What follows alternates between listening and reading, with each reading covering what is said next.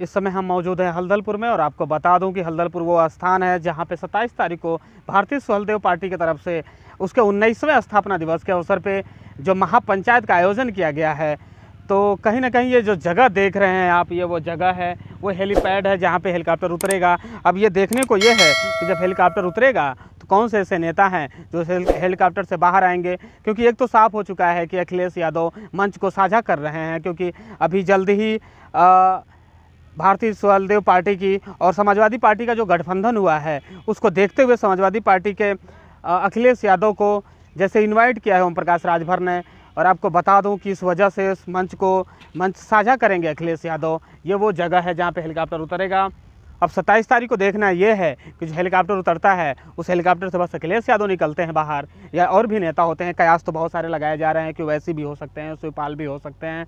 अब देखने को तस्वीरें साफ़ सत्ताईस तारीख को ही होंगी जब ये हेलीकॉप्टर यहाँ पे लैंड करेगा, उतरेगा और उसमें से जो नेता बाहर निकलेंगे। अब देखने को ये है कि सत्ताईस तारीख को जो महापंचायत है कौन कौन से नेता शामिल हो रहे हैं और कौन कौन से ऐसे नेता हैं जो मंच को साझा कर रहे हैं हम इस समय दिखा रहे हैं आपको बता दूँ कि तस्वीरों में जो ये मंच का जो आखिरी रूप कहा जा सकता है ये मंच तैयार हो रहा है। सत्ताईस तारीख को यहाँ पे जो महापंचायत होने वाली है भारतीय सुलदेव पार्टी की तरफ़ से वो यही मेन मंच है जिस पे अखिलेश यादव मौजूद होंगे सत्ताईस तारीख को और ओम प्रकाश राजभर मौजूद होंगे। अब देखना यह है कि जो भी संकल्प मोर्चा की जो भी पार्टियाँ हैं वो कौन कौन से ऐसे नेता होते हैं जो मंच पे मौजूद होते हैं? मौजूद रहेंगे सत्ताईस तारीख को मेन मंच यही है। जैसा आप देख रहे हैं तस्वीरों में कि मेन मंच है जो आखिरी रूप आखिरी रूप तैयार किया जा रहा है मंच का। देखा जाए तो यहाँ पे सत्ताईस तारीख को जो महापंचायत होने वाली है मेन जो मंच है ये वही है। उसके बगल में ठीक आप देख रहे होंगे एक छोटा सा मंच है जिसपे ये आ, देखा जा रहा है जहाँ पे एक और मंच तैयार किया गया है। एक छोटा सा मंच तैयार किया गया है जिसपे जो भी छोटे दल के नेता होंगे जो भी छोटे दल के नेता होंगे वो मंच पे इस मंच पे शेयर करेंगे। आप लोग को दिखा दो तस्वीरें। एक बगल में पहला मंच जो लगा हुआ है, जिसमें दिग्गज दिग्गज नेता होंगे, अखिलेश यादव होंगे इस पर ओम प्रकाश राजभर हो सकते हैं इस पर मगर वहीं पे अगर देखा जाए, इसके बगल में देखा जाए कि एक मंच है जिस पे छोटे दल के जितने भी नेता हैं, जिनका भी भागीदारी संकल्प मोर्चा के जो भी गठबंधन में नेता आए हैं, उनके लिए। और ठीक एक सामने देखेंगे एक और मंच तैयार किया जा रहा है, जहाँ पर सांस्कृतिक कार्यक्रम जो होगा, जो भी कलाकार आएँगे, पार्टी की तरफ़ से आएँगे चाहे जो भी कलाकार होंगे, उनके लिए भी एक तस्वीरों में आप थोड़ा सा ऊपर कैमरा करके दिखाएँगे। तो ये साफ़ देख सकते हैं कि एक और मंच तैयार किया जा रहा है, जहाँ पर सांस्कृतिक कार्यक्रम होगा। और जिस तरह से आप थोड़ा सा और तस्वीर हम आपको क्लियर करते हैं। आज इस मंच के बारे में बताते हैं, यहाँ की जगह के बारे में बताते हैं। आपको बता दूँ कि यह जगह हल्दलपुर थाना से डेढ़ किलोमीटर आगे है, जब आप रतनपुरा की तरफ़ जाएँगे। और ये जो आगे का जितना भी सेक्शन दिखाई दे रहा है, आगे जो भी ये जगह है, वो महिलाओं के लिए सुरक्षित कर दिया गया है। तो कहीं ना कहीं महिलाओं को आगे रखा गया है कि जो भी चीज़ें होंगी, क्योंकि महिलाओं को अगर काफ़ी चीज़ें हैं जो महिलाओं को आगे रखा गया है, यहाँ पे देखा जाए तो। उसके पीछे जो भी जगह बचेंगी क्योंकि यहाँ पे बहुत महापंचायत है, बड़ी पंचायत है तो यहाँ पे लोगों के जहर सी बात है कि बहुत सारे लोग आएँगे, यहाँ पे भीड़ बहुत बड़ी होने वाली है, क्योंकि 2022 के चुनाव को देखते हुए जो तैयारी है यहाँ पे भारतीय स्वलदेव पार्टी की, वो कहीं ना कहीं एक काबिल तारीफ़ भी कही जा सकती है और एक आगाज़ भी कहा जा सकता है दो हज़ार बाईस के चुनाव का। यहाँ से शुरुआत होगा पूर्वांचल से।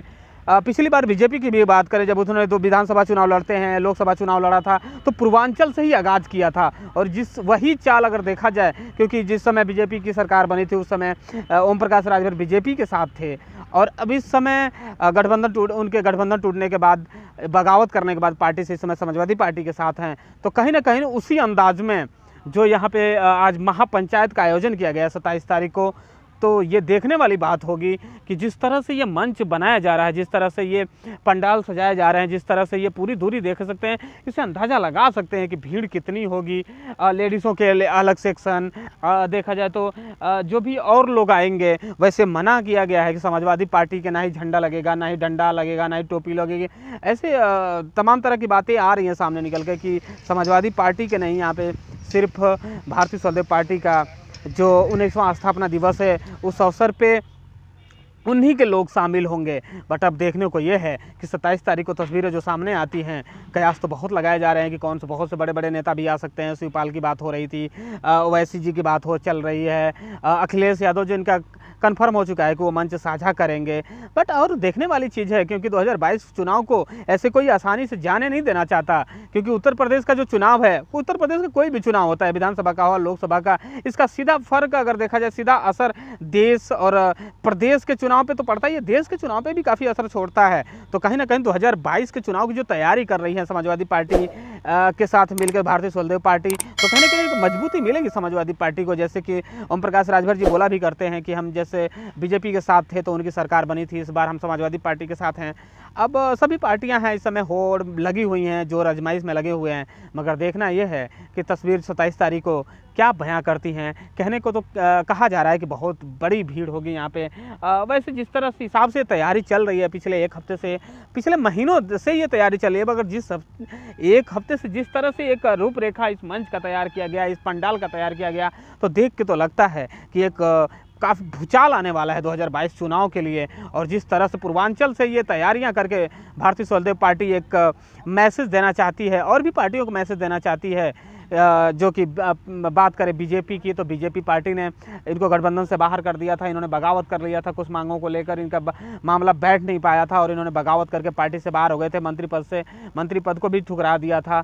तो कहीं ना कहीं अपने काफ़ी सख्त तेवर के लिए और काफ़ी बेबाक तरीके से बोलने वाले नेताओं में गिनती होती है ओम प्रकाश राजभर की। अब देखना यह है कि सत्ताईस तारीख को इस मैदान में क्या जलसा उमड़ता है और कौन कौन से नेता शामिल होते हैं और कौन कौन सी पार्टियाँ यहाँ पे गठबंधन जो गठबंधन की बात चल रही है तो कौन कौन सी पार्टियाँ हैं जो भागीदारी संकल्प मोर्चा में मंच को साझा करेंगी? अब देखने को तस्वीरें 27 तारीख को ही साफ़ हो पाएँगी।